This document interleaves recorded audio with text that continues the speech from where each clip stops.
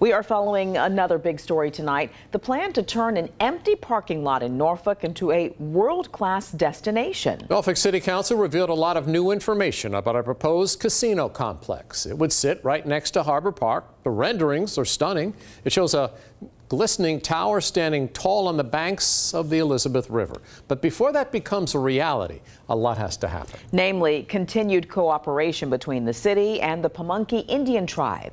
Chanu Her starts us off tonight.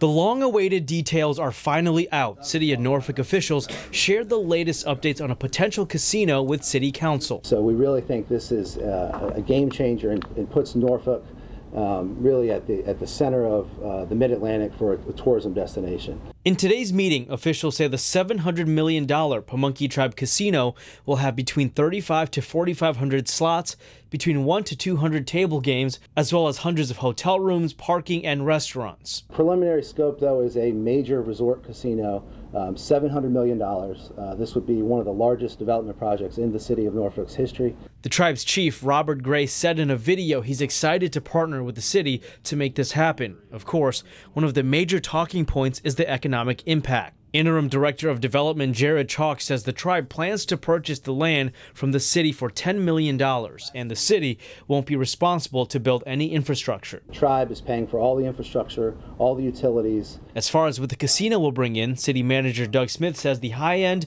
will bring in more than $800 million. 33 of that goes to the city. This is if the tribe chooses to make it a tribal casino versus a commercial casino. So the deal requires for, uh, under no circumstances would we be paid less than $3 million uh, a year. All right, Chanu, obviously a lot of information. Yeah, so, absolutely. So what comes next in the process? All right, so next, uh, uh, Doug Smith is suggesting a public hearing on the 24th, which will also include a public comment. However, uh, Councilwoman Andria McClellan challenged that a little bit, saying that she's worried that's way too soon. And as far as the plans that were presented tonight, she says she can only get behind that if that includes money for flooding and schools. So, of course, there, yeah, there's a lot to this still, and we'll continue to follow these updates and bring you the latest right here on 13 News Now. Definitely right. have not heard the last of this one. Exactly. All right. Thank you.